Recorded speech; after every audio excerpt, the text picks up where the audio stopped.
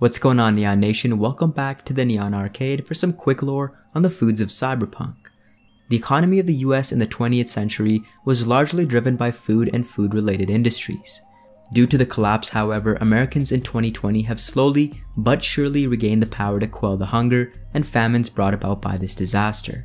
The farm economy has changed direction from food to fuel centric and thus most Americans in 2020 eat manufactured foods. These foods vary slightly in quality and quantity, but kibble is the most prevalent and the basis for many other manufactured foods.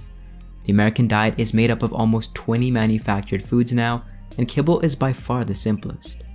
Kibble was designed by Purina Foods for the South American relief effort due to the effect of the Central American Wars. The consistency is similar to animal foods, but also provides a full day supply of all major vitamins and mineral compounds along with a small amount of complete proteins and amino acids.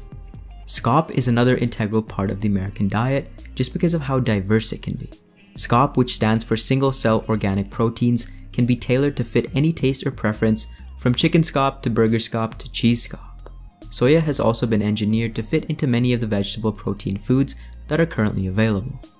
As V wakes up in the 48 minute demo, we see Kibble and SCOP on her shelf behind the bed. When it comes to fresh food, this is still available if you're the average millionaire. Statistically, as little as 3% of the total population eats fresh food more than once or twice per year. Massive burials and bioplagues have tainted the natural groundwater in the states, and thus fresh food has to be grown in indoor hydroponic gardens, which have skyrocketed its prices.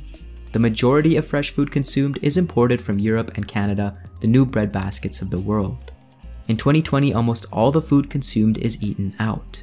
Vendors flood many streets and although most vendors sell hand foods and pre-pack, fresh soup and noodles are also available. Real fresh food is reserved for the highest end restaurants.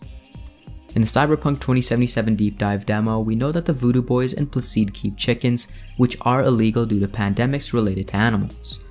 Synthetic meat is also produced at the All Foods plant, so it seems like things have changed slightly, at least in outwards appearances, as the timeline has moved on. Combined Foods and other seemingly larger grocery stores seem to pop up in the 2077 content we've seen thus far, and we do see pad thai and noodles being offered in the street, meaning kibble might be less necessary as Night City repairs and heals from the age of the red and the 50 plus years since the collapse. Thank you guys for watching and for more Cyberpunk, join Neon Nation by subscribing to the Neon Arcade.